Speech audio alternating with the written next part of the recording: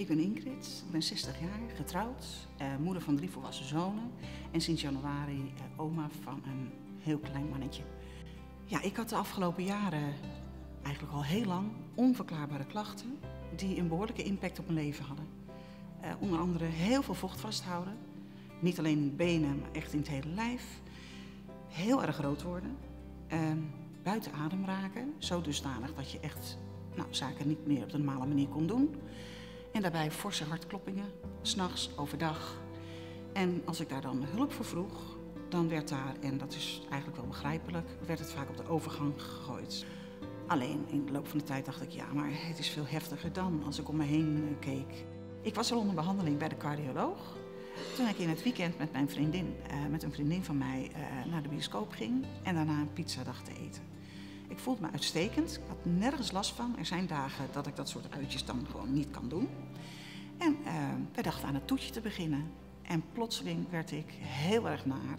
Heel erg hartkloppingen, zweet, krampen. In ieder geval, ik belandde buiten bewustzijn op de tafel midden in het restaurant. Dus in plaats van een toetje lag ik heel slordig. Um, het duurde wel een tijdje voordat ik weer bij was. En uh, daarna heb ik me gemeld bij de huisartspost, waar zij vervolgens geen hartritmestoornis meer konden meten. Maar ze zagen aan mij dat het absoluut niet in orde was. Uh, later in die week had ik toevallig een afspraak bij de cardioloog.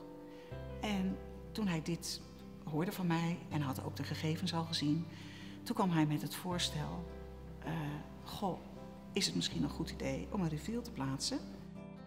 Het is frustrerend voor een patiënt dat hij niet kan voorspellen wanneer hij klachten krijgt. En als dat weinig frequent is, dan is de kans heel groot dat je met je gewone onderzoek niets gaat vinden.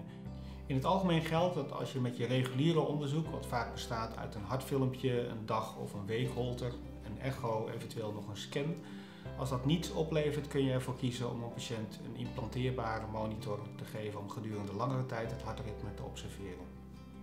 In dit geval is gekozen voor de Reveal Link, een kleine implanteerbare monitor ter grootte van een paperclip die onder de huid geplaatst wordt. De monitor wordt met behulp van een speciaal injectieapparaatje in de borst geplaatst ter hoogte van het borstbeen. Als je een Reveal Link hebt gekregen, dan krijg je het volgende mee naar huis.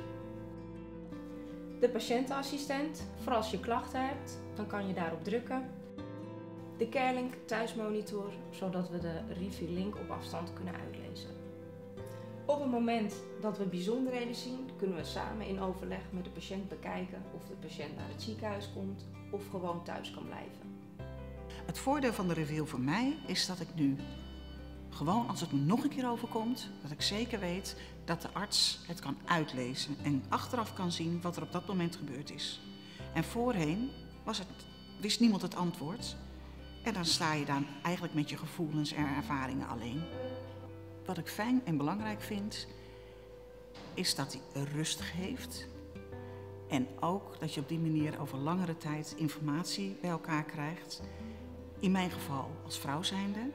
En wie weet geeft het positieve bijdrage aan de nieuwe kennis van het vrouwenhart.